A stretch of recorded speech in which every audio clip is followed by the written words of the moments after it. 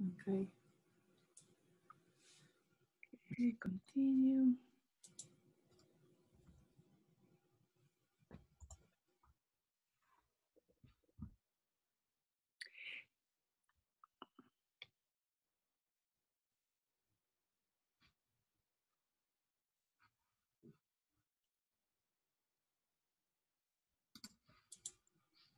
Alba Griffin is one of the authors and just joined. Oh, Ma- Magali, no te reconocí, Dios mío, yo estaba mirando a otro lado. Hola Magali, ¿cómo estás? Hola, muy bien, ¿cómo estás, Zoila? Gusto de verte. Estaba acostumbrada a verte con el pelo largo siempre. Pues aquí está. Sí. Lo corté, pero volvió a crecer. sí. ¿Cómo has estado? Bien, sobreviviendo como todos, felizmente. Sí.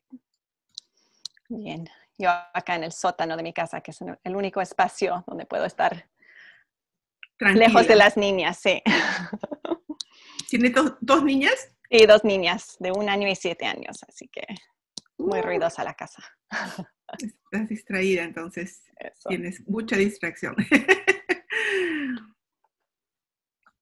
Vamos a, voy a ponerme mute para no fastidiar. Hola. Amazing.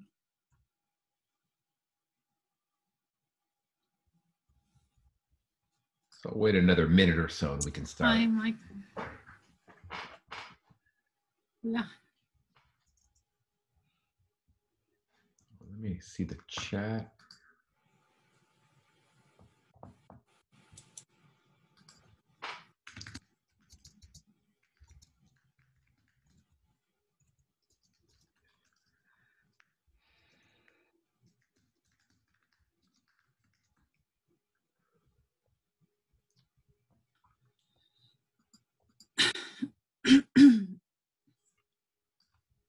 Okay, I think we will begin. Uh, I want to welcome everyone, and, and I know we have people. Uh, I've just gotten a couple texts. People are be here in five minutes, ten minutes. One person said, "Go go ahead without me," which we would have done anyway. But anyway, I want to uh, thank you all for attending.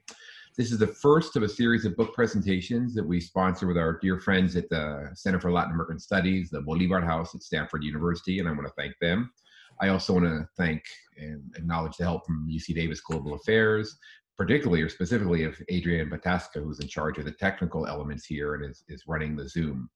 Um, and I also want to mention the Hemispheric Institute in the Americas. This is the first of, of two events. When we have the poster up, you'll see the, the next book discussion um, on December 2nd with um, uh, Lina Britto in her book on Colombia and its role in the in the drug war um, in Colombia. It's a fascinating book that, and, and I really recommend you to join us. So today we're going to talk about Patricia Oliart's new edited volume, Pedagogías de la Disidencia en América Latina. And it's a book that is freely distributed. We were just talking about that by La Siniestra in Lima. It is downloadable and free. We, so we strongly recommend. I know that many people here have been commenting on it already. It, it's an astonishing, uh, very important series of essays. It began in a with a conference, or Patricia mentions a prior conference, which I just love the name of. It's it was called Pedagogy Singular of the Oppressed in Time of the Emergence of the Emancipated Spectator.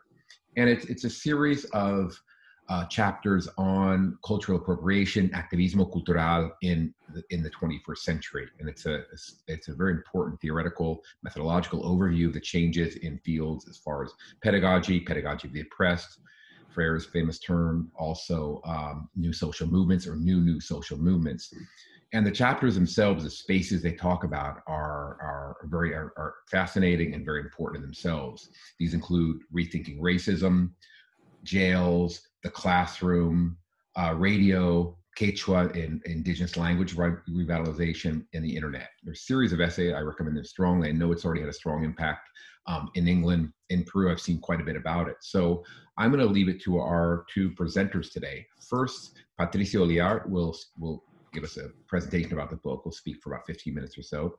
She's a senior lecturer in Latin American Studies and the head of Spanish, Portuguese, and Latin American Studies at Newcastle University in the UK. Um, and commenting will be Magali Rabasa, who is an assistant professor at Lewis and Clark College and a alum of UC Davis. So I want to thank both of them and I want to thank you all for that. We will have time at the end for questions. The best format we think is chat. So if you could just send them in, I will moderate them and include them. So Patricia, uh, Patricia adelante. Yes.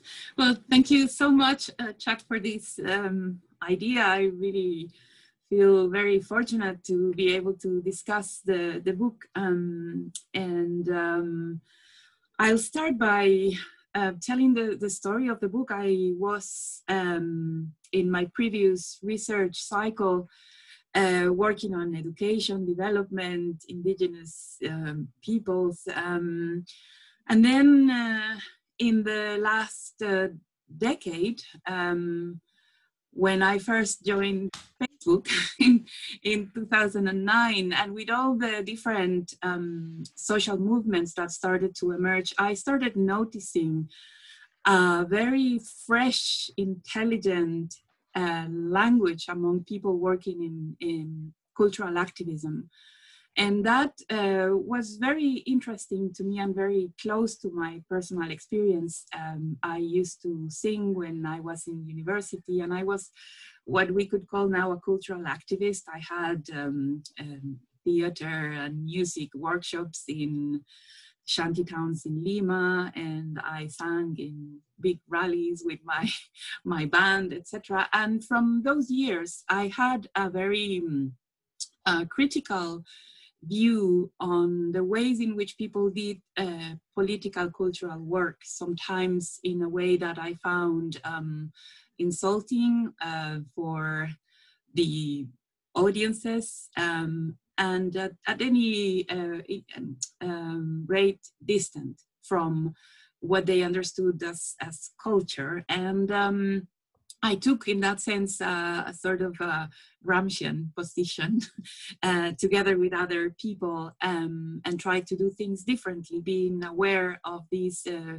kind of vertical approach, uh, teaching people how to do things. And when I uh, noticed this transformation um, and this different way of um, dealing with the practices of politics and uh, cultural activism, I got really interested into it. And first, it was a personal interest and curiosity and kind of a celebration, celebratory uh, spirit looking at that. And then I started reading more and uh, the kind of work that other people were doing about the, the emergence of these practices.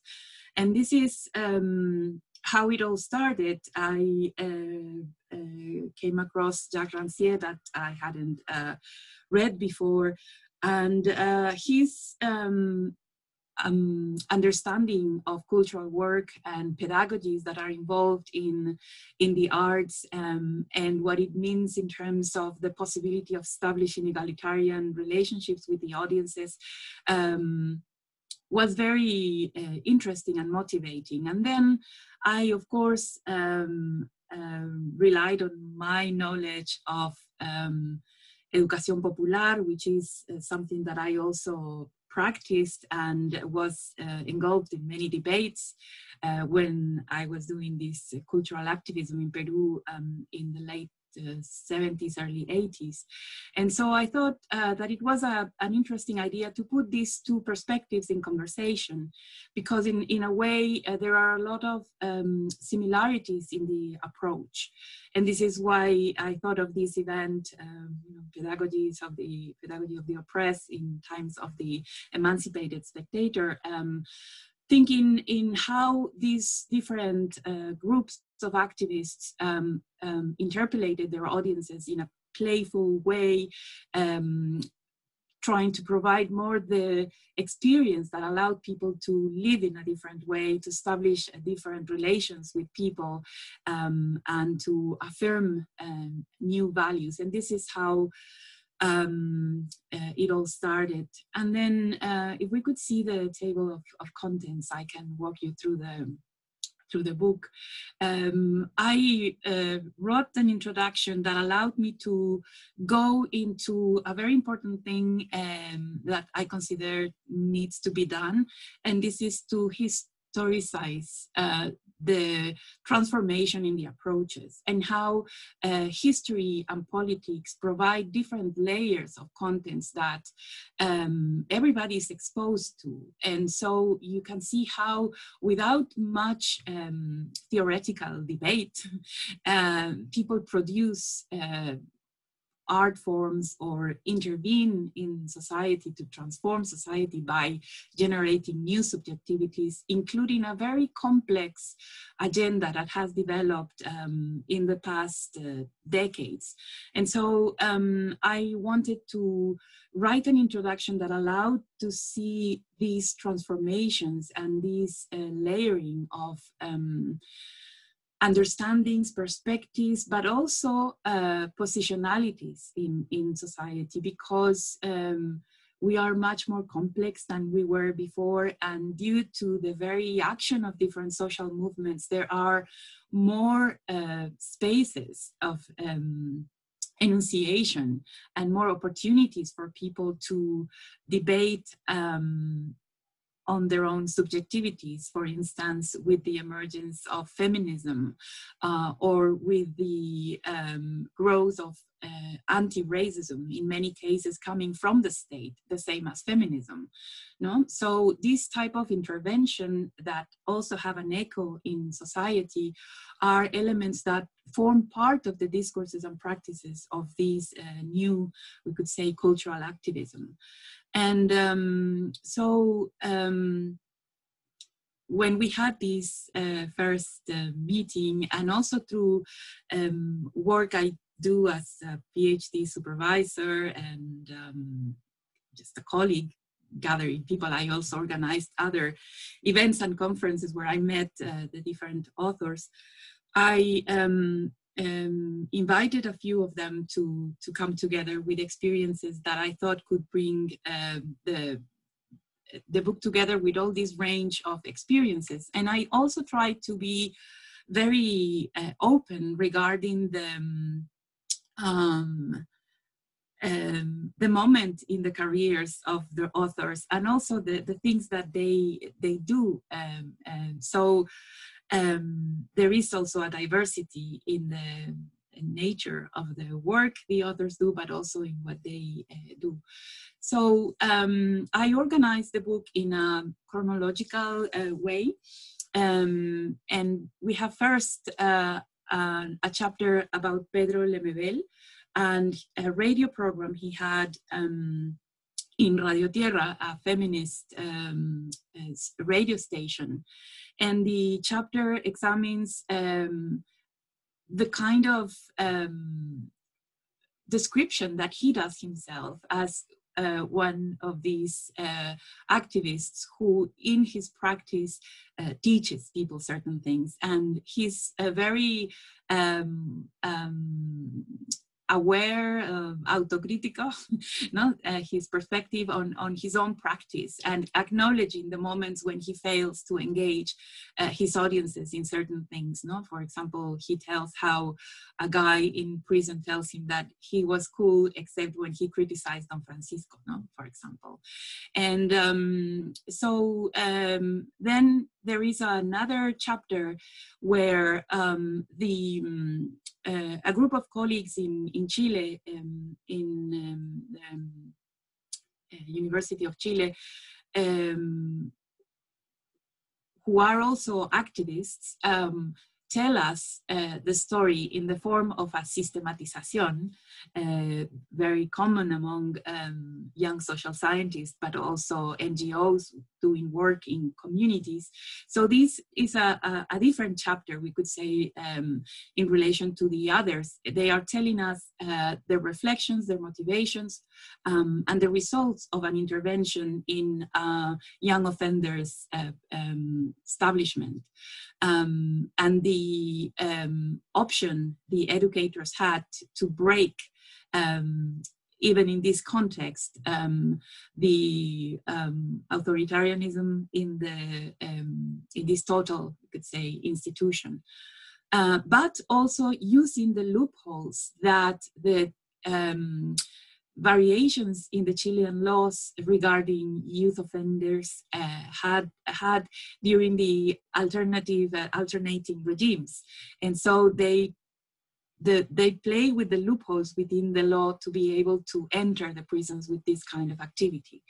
No? And then we have an, a great article by uh, Virginia Zavala that she led me for the book. It had already been published in English, but it fitted perfectly with what I wanted to do with the book about how the practice of young Peruvians who embrace the Quechua identity, even if they are, they are not native speakers of Quechua, um, uh, interpolate the, the state policies of bilingual education or the, the understanding, the political understanding of bilingualism in contemporary Peru, establishing other forms of um, engaging with the language uh, by an affirmation of the identity of these uh, young people.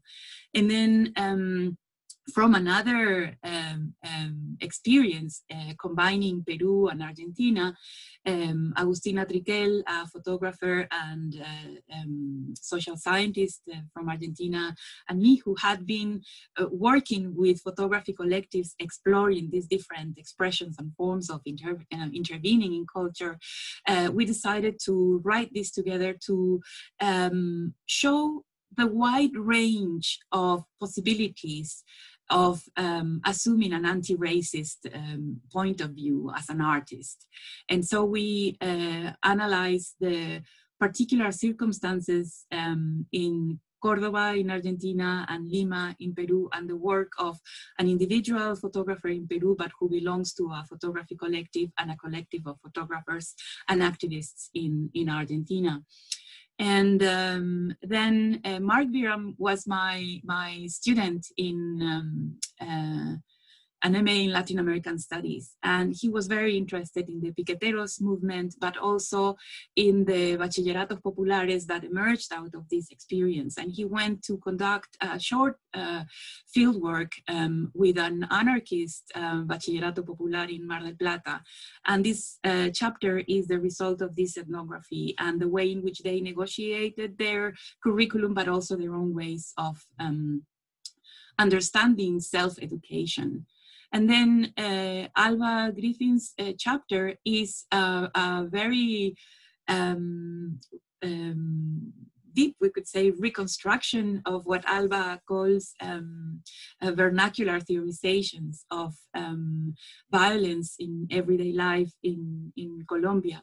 And um, uh, what she does is to study uh, the memorialization of a bridge um, where the gra uh, graffiti artists give their own um, interpretation of a violent event no? uh, to create uh, a memorial, a place for memory in, in that place. So as, as you can see, it's a wide range of experiences, but I wanted to show them, um, and with this I, I finish, um, joining uh, Boaventura de Sousa Santos and his idea of um, um, creating a, a, sociology that acknowledges the emergence of new phenomena. Um, and as a way of fighting what he calls the sociology of waste uh, because uh, sometimes by criticizing how something is similar uh, or close or far from uh, what should be really transformative or, or politically relevant, etc. Uh, if they don't meet these criteria, these uh, expressions are discarded. And uh, that doesn't help. so um, the book has this, this aim of collecting um, different writing styles, different approaches to politics and the arts and cultural interventions to show this uh, variety.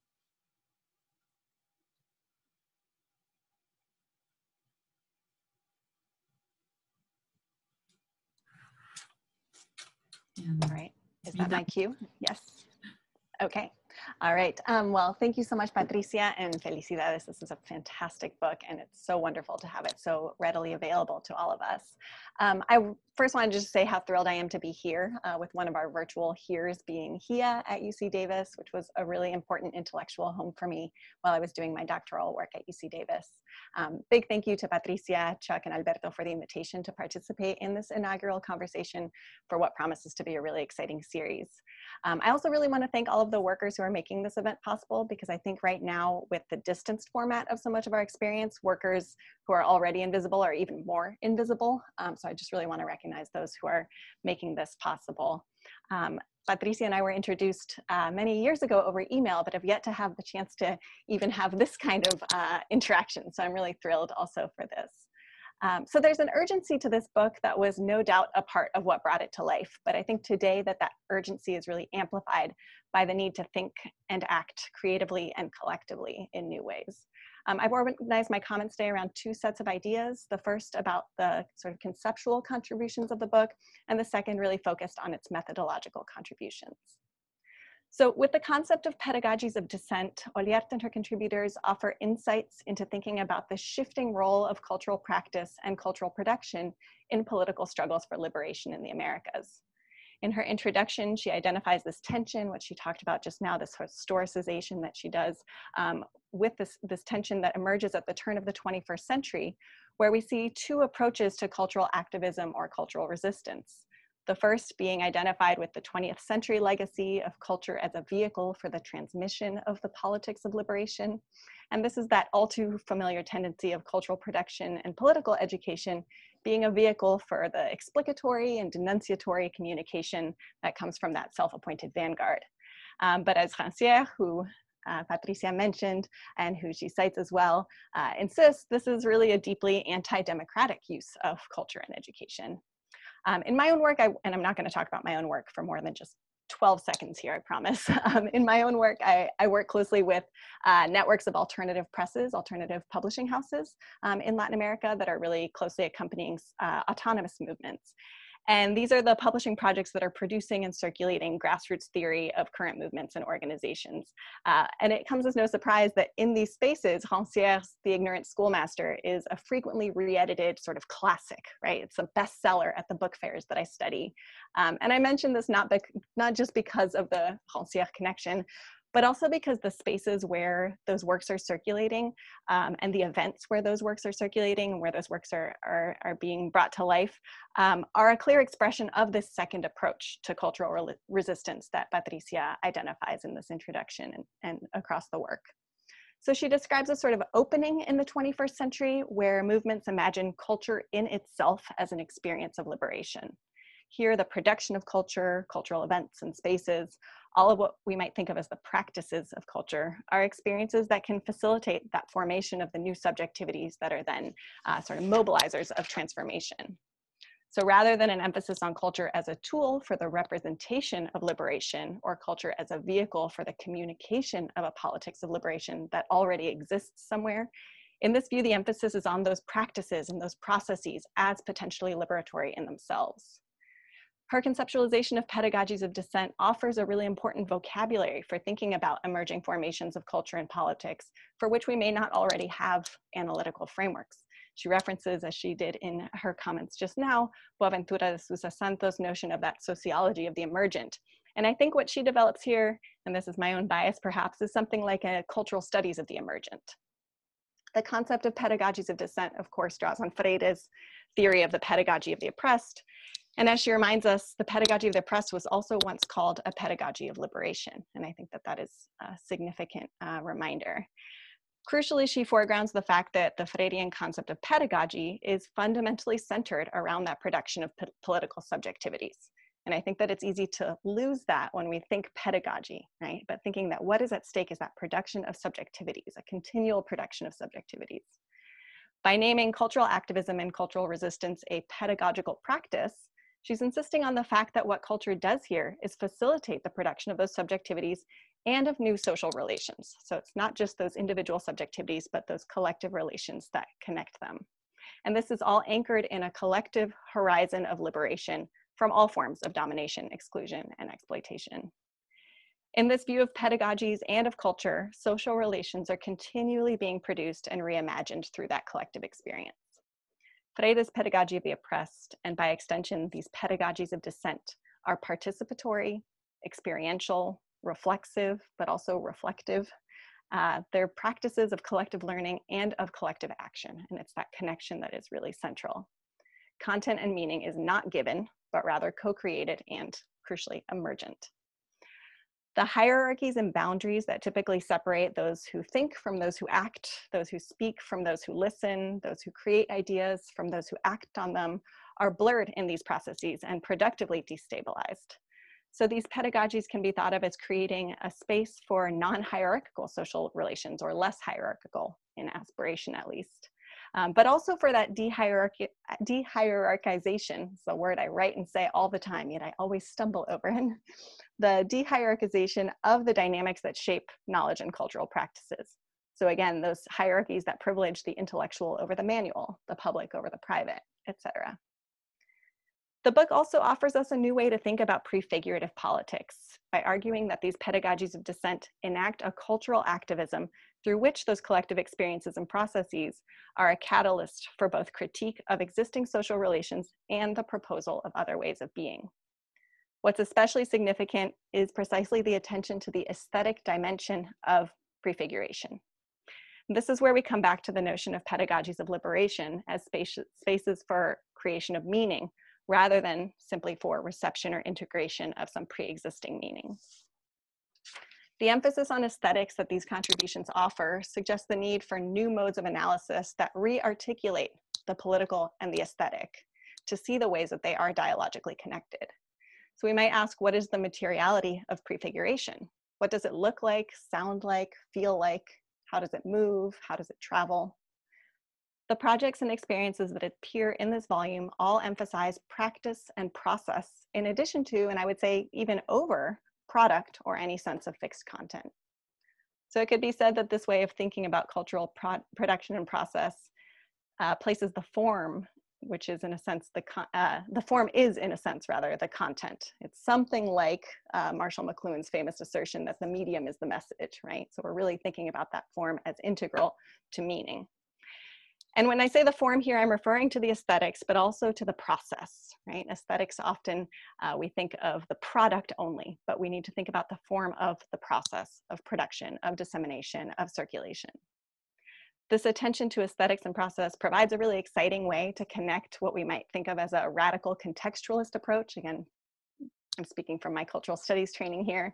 Uh, so that radical contextualist approach to thinking about culture, how we might be connecting that with a prefigurative approach to politics.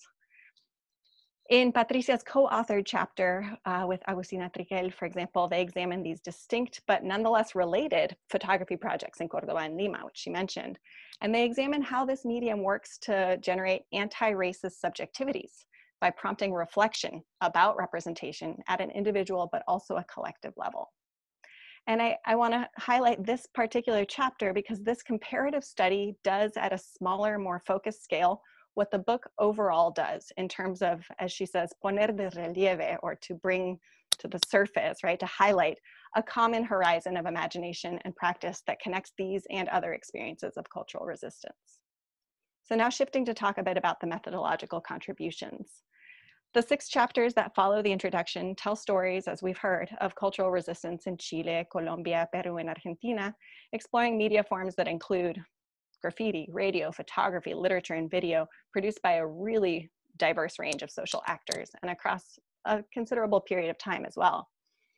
But there are implicit and explicit dialogues present between them that I think are really important. And these are transnational dialogues that cross borders, but also transhistorical dialogues that articulate these diverse experiences through shared historical references in some cases that at many points might be implicit references. There's also something participatory about all of the contributions to this volume that in a way echoes the participatory nature of pedagogies of liberation and dissent. Some do this explicitly so, as they're described as enacting participatory methodologies. The chapter, for example, on the intervention in the uh, youth um, uh, detention center in Chile, if I'm not mistaken. Yes, in Chile. Uh, that chapter in particular, as Patricia mentioned, really lays out that participatory dimension. But others do it more implicitly as the authors position themselves as indirect participants in the production of the meaning about the cultural production that they're examining. So they're situating themselves as part of that ongoing production of meaning. Beyond the fascinating and compelling stories of cultural resistance that appear in the individual chapters, I think that this collection is especially important because of its networking effect. By connecting these apparently disconnected experiences, Patricia makes visible something that's happening across the region in a dispersed and decentralized, but also resonant and networked manner. The book can be read like the beginnings of an incomplete or emerging map a map where others engaging in or witnessing similar or related practices might recognize those tendencies and the commonality that exists amidst that difference.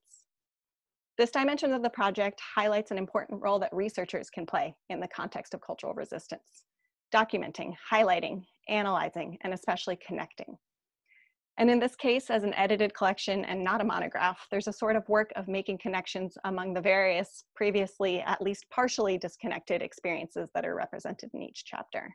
So here I really want to highlight that Patricia's role as editor and not only as author is very significant. At the end of the introduction, she identifies a potential limitation, what she calls the problematic dimension of the kinds of experiences recounted in the book. And she alludes to their fragility and their vulnerability to both critique and to the passing of time. Ever the optimist, I want to push back on this a bit, because I want to suggest that this is precisely why their networked, decentralized, and practice based nature is so key.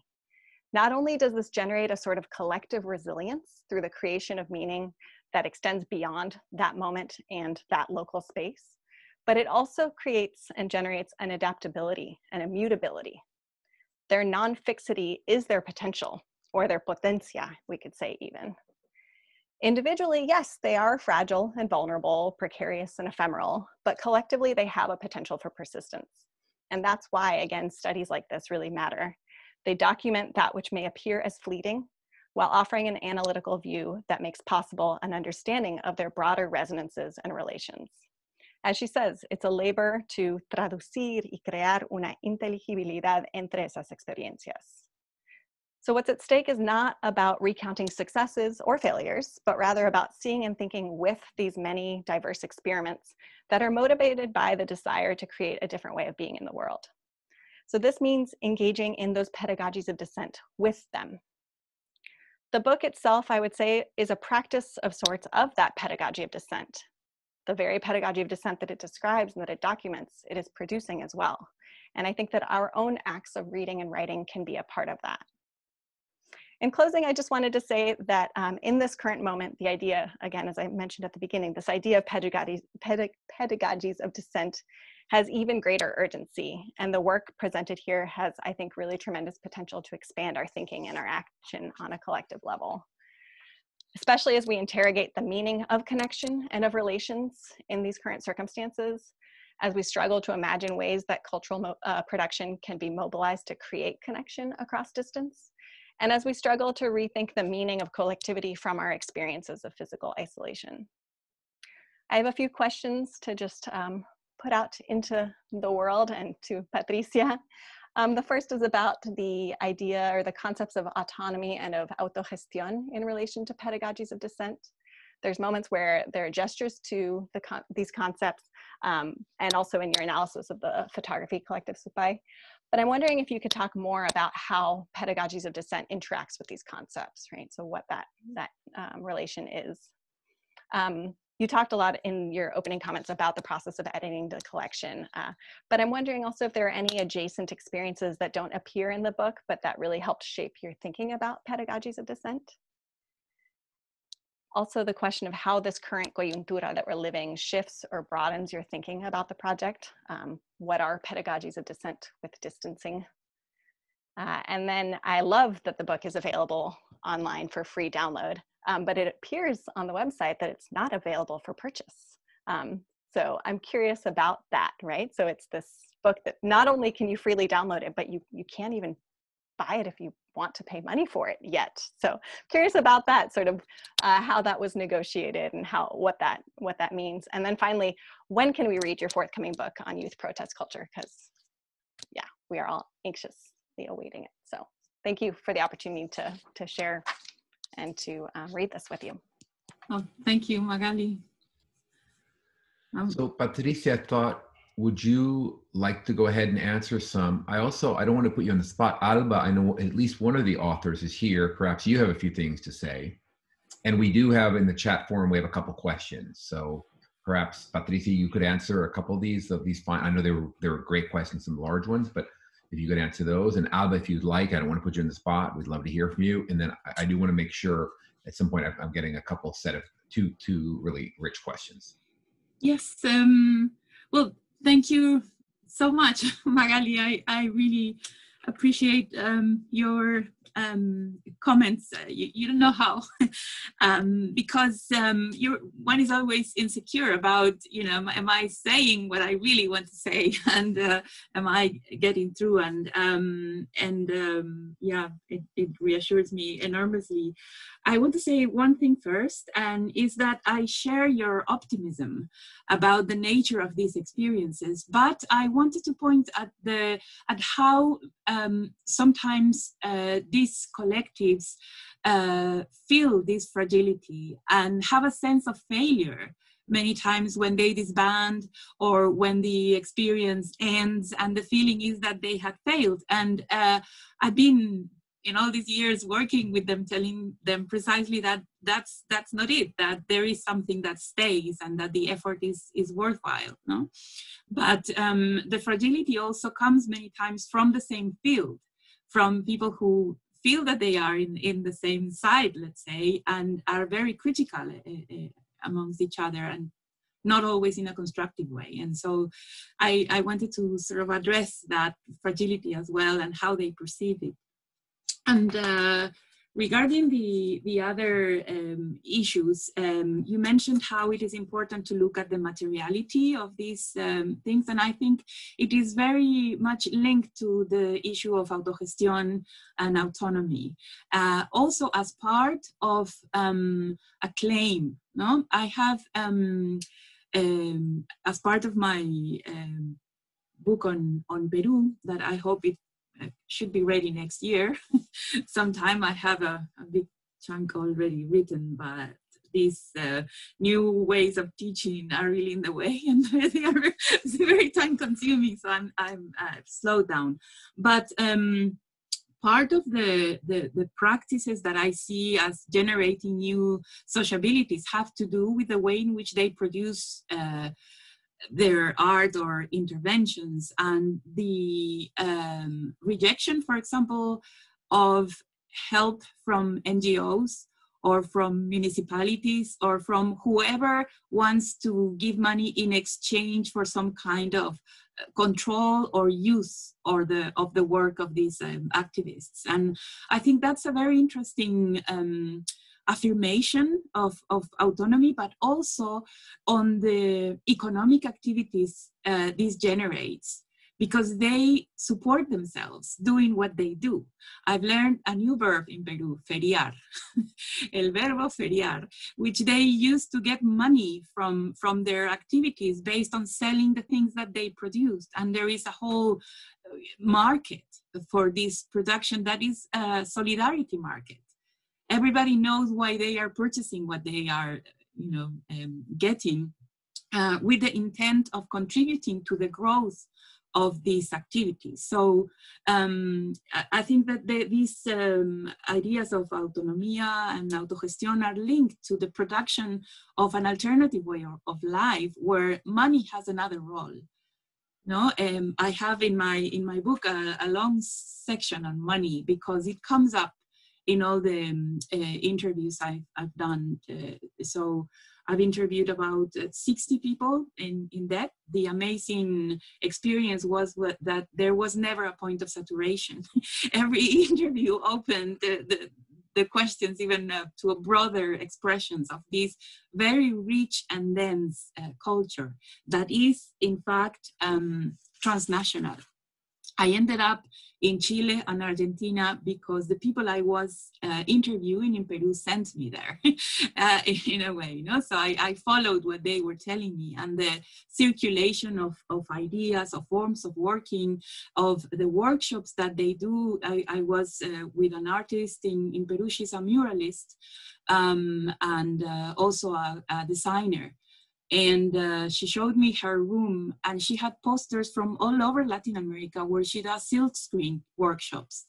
And she has a very interesting technique working with colors and shapes etc and she's been traveling throughout latin america feriando selling her things getting there sleeping in couches etc no? But uh, she's very active and very well known and travels all over the place uh, just by doing what she does no? And um, so these are some uh, um, examples and ideas that I hope um, answer your questions.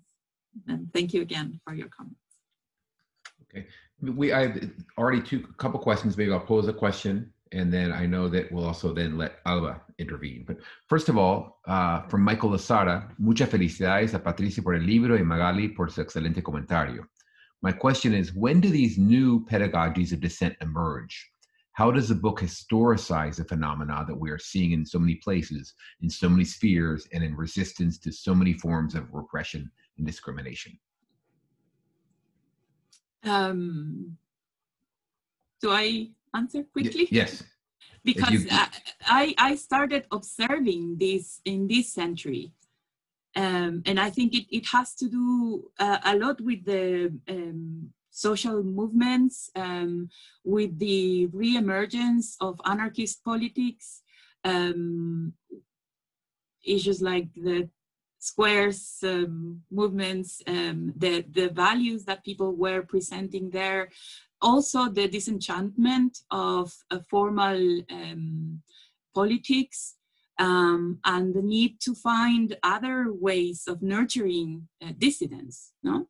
So what is amazing is how these uh, theorizations have been uh, traveling um, and enriching each other without much um, you know cerebral discussions about this author or that other author these are things that are also defined in practice and with constant circulation of conversation that also connectivity facilitates. That's another thing that I think is, is really interesting because you can see the debates and the threads uh, of discussions, the political discussions, very relevant, uh, very deep, but with very few words, where, where issues are just, uh, you know, dealt with uh, and with an immediate um, reflection in, in political practice.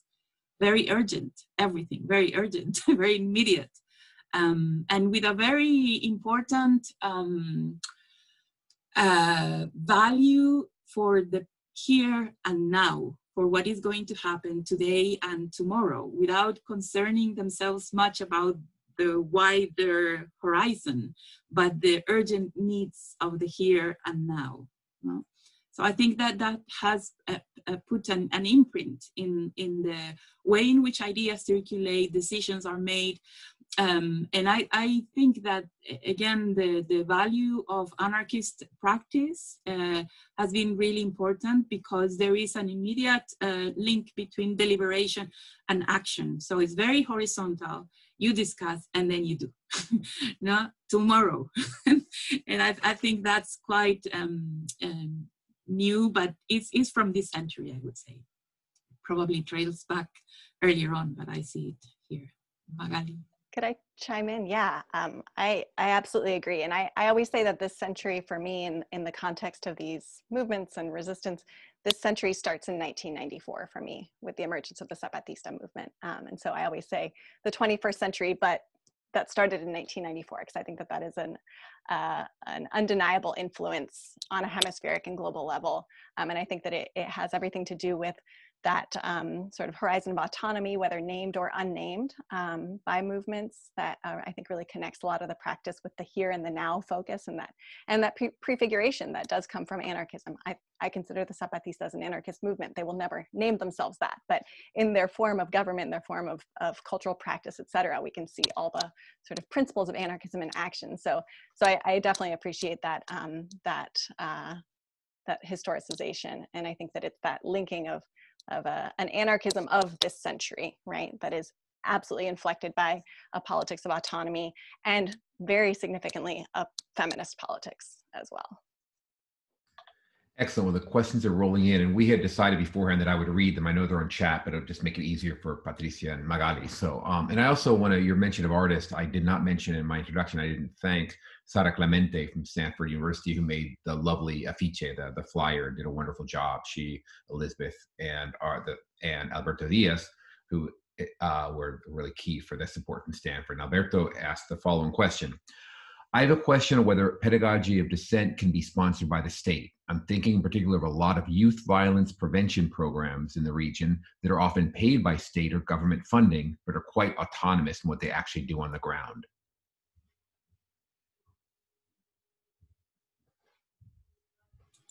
Should I answer? Or yes. do we wait for more? Yes. Um, well, there is a, a lot of um, different experiences um, about this, and I think that the key is the connection that whatever program establishes with people and how respectful they are for what the people want to do. Uh, there are horrible failed experiences of money being thrown at ya que hagan graffiti los chicos, you know, take them out of the streets as, as the main motivation, but not really trying to connect with them as people. And I think that the, the basis of, of these pedagogies is respect and space for the development of subjectivities. If they are prepared to do that, as it has happened in some places, the experiences are, are wonderful. But um, one thing to take into account that, that is also part of the historical scenario is uh, the pink tide. And in particular, the officialization of the uh, puntos de cultura, uh, the Cultura Viva Comunitaria, is the continuation of the um, Pedagogía de la Liberación in Brazil. And it expands from them to different municipalities in Latin America where there were left-wing mayors. And then there is uh, a way of proceeding to channel municipalities money to promote culture. And in many cases, this has connected with very uh, historical um, movimientos barriales or particularly in, in cities, no? And it has been very, very productive and very, um, with a very important negotiation with the communities. And it hasn't happened everywhere, but it is certainly an interesting experience that, uh, as uh, Magali was saying, shows the connection with uh, uh, historical trajectories of these movements and the way in which they have appropriated cultural work to make politics. One more question, that I'll make sure Alba to, to give you time. And this is from Erika Verba. I'm not sure if it's a fair question, but I'm curious about strategies you may have on how to take concepts about pedagogies of liberation to the classroom when you work for a university that is following neoliberal models. I think everyone present here would have lots to say about this, but I will leave it to Patricia and perhaps Magali wants to make a, a brief comment. Yeah, I I think that um, it has to do with how you relate to people always, uh, regardless of where you are. There are certainly constraints, um, but I think it's um, it has to do with with how you embrace these ideas as something that informed your your practice. Um, I don't have uh, definitely a recipe, and I'm not even sure that I am all the um, uh, liberator I would like to be. But um, I, um, yeah, I think it is it is difficult to respond with a recipe or something. But I think if you embrace certain principles, you're going to apply them anyway, um, in any way you can. You know? Yeah magali would you? Yeah um, yeah i think it's a fantastic question one that we're definitely thinking through continually. Um, mm-hmm. one of the ways that i try to imagine that is with the the materials that i bring into that classroom space right? And so um, bringing things that students might not otherwise have access to right? Um, uh, working with the kinds of materials highlighted, the kinds of cultural products highlighted, for example, in the contributions to this book, um, shifting thinking about what counts as knowledge and significantly what counts as theory. That's, I think, one of the biggest interventions I try and make in the classroom is to really shake up the students' thought uh, and my own about what where theory comes from and where we can see mm. theory emerging. Um, and for me, that that's one one strategy. Um, so, you know, using different forms of media, um, folks who might not be considered to be theorists or intellectuals under sort of standard hierarchies. Uh, and then doing everything we can to extract resources and shake up those neoliberal institutions. Great. Alba, can we ask you to intervene if you'd like? Yeah, sure. Yeah, thank you. Um, well, I guess I would just say that it was a real um, pleasure being part of this book and um, actually only reading the book after it was published, but seeing the connections between the chapters. Because when I was carrying out this research, I was um, doing my PhD, and I remember when I was in Colombia, especially, and trying to talk to all these different graffiti artists and thinking about graffiti and how what how I was sort of seeing it as an important cultural product. I was coming across what I saw as obstacles where people were saying, yes, this is good because it's saying something clearly political. This kind of graffiti is rubbish because it's just a scrawl. Or there just seem to be so many distinctions between what we can actually get from different forms of art and culture and, and to what extent we see them as being, you know, legitimate political acts or kind of reflections of politics. And actually, for me, they all had an interest that whole the kind of anything that was written on the wall there was always something there to it and i was interested in how what it told us about how people thought about the world around them. And so as i was reading this book i was thinking oh everyone's doing this. Everyone's kind of the, the focus is much less on what is the outcome of these interventions or these actions and it's much more on kind of what are the multiple and interesting ways in which people are um, being political just in terms of engaging with the world around them and trying to do something. So that was one of the things that I um, I really enjoyed about it. The other thing I just wanted to say was really in relation to um, my chapter. I was looking at this case of um, Diego Felipe, who was a graffiti artist who um, was shot and killed by the police, and it was really interesting to me that it was his parents who really um, pushed forward with this attempt to create the memorialization at the bridge and to get different graffiti artists involved. And it really shifted their way of thinking about what was about the kind of the social structure and the relations with the police in the city. A lot of graffiti artists had already kind of you know come across problems with the police. Um, and I saw it as quite a sort of standalone chapter. Um, it's not part of my uh, PhD thesis so much. Um, but then since its publication, um, Colombia has seen huge protests and huge protests in relation to police violence and police abuses that are that should, I think, be linked more to Black Lives Matter movements around the world, but reporting on which I have not seen much of in the UK. I don't know about the US, um, but it just it, it kind of reminded me that these are amazing forms of doing politics and it's great that people are engaged in the face of kind of quite horrific situations but it's also sad to see that that chapter is still relevant and that there are still these kind of um, obstacles that people are facing these kind of violences that people have to negotiate. So there is i'm always torn between the optimism of cultural activism and people doing stuff and the sort of sadness at seeing things on a large scale not changing. So just to, not to end on a pessimistic note, but I think that balance is always interesting and it is what keeps people going, I suppose, as well. But yeah, I'll leave it there. I, I want to add a thank you very much. That was great. And um, I want to add I, on Facebook, I re- just received a question, or a little bit ago, I guess. Um, someone writes, I can't be there tomorrow, but I've looked, I've, I've read the book and like it very much. but Gramsci is not that present.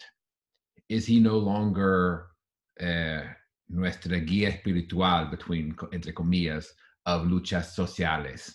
I, I couldn't avoid that question. So the presence of Gramsci in the book, and is is he not have the the the person who elaborates not have the theoretical weight or the the political presence that he might have 20 years ago with new social movements? Um, I consider myself uh, very influenced by Gramsci. Um, and um, I mentioned him just to paraphrase him in, um, in a section of the introduction, but uh, really there is um, one very important uh, motivating um, thought I, I, have from Gramsci when um, in the um, introduction to the philosophy of um, Benedetto Croce, Materialismo Histórico y la Filosofía de Benedetto Croce, he talks about uh, uh, becoming a subject in politics as this more or less random moment in life when you can be walking by the street as a leaf just pushed by the wind and then something clicks in your head and you embrace your circumstances and understand yourself as a possible interventor in these circumstances as the political moment when when subjectivity emerges you know? And in in a way what is behind all these efforts um, of producing practices and subjectivities is is this um, um, understanding that you need to be present to do something no change is only possible if, if you are present understanding what happens around you. And the thing is how to achieve this uh, uh, dialogue between the different ways in which people may be perceiving these things and the possibility of creating a collectivity that reacts um, to these circumstances. And so um, Gramsci, his concerns in, in, on culture and on political subjectivities is, is present. Um, but if, if you read the the introduction, uh, it's not very theoretical. It's, it's a lot of uh, trying to put together these these experiences and bring in uh, what I consider useful uh, to talk about these things. No, and so I, I brought in maybe things that I have read more recently, but uh, yeah, I can say that Gramsci is still in my heart and my brain because that's how I started thinking about the importance of culture in, in politics. Magali, did you want to comment on that or? Okay. No, I was simply saying same. Yes. Great. Yeah. I okay. think Gramsci is there without being named. Okay. Yes. Excellent. Okay. Is there any final brief comments, questions? We have a couple minutes, but I know as a lot of people, three or four people have said, very sorry, I have to be off at one. I know that the, the photos will start disappearing. Okay, well, I just want to, um, first of all, I want to remind people at the December 2nd event, the talk, that'll be a similar format. The author, Lina Britto from Northwestern, and the commentator, Ricardo Lopez Pedreros. And the book is Marijuana Boom, The Rise and Fall of Colombia's First Drug Paradise. This is, again, co-sponsored UC Davis and Stanford University. I want to I, I want to really thank everyone. I want to thank you know Patricia and uh, Magali for their eff- excellent effort. I want to thank everyone for being here. You've restored my faith in Zoom. I'll be very honest, very uh, personal here. I I have I have Zoom fatigue, is mostly it's meetings, things like that. And a couple events I've gone into Zoom, it just didn't come anywhere near sitting in a room with someone, sharing ideas, arguing, you know, complimenting and this was great. I learned a lot. I, I, really, really strongly recommend the book, and I think this forum worked well. Uh, I think that, that, I was really glad to get these fantastic questions. So anyway, I just want to thank everyone so much. Uh, if you're again, the, the book is free, downloadable. You can't buy it. It's, it's only free, as Magali insisted.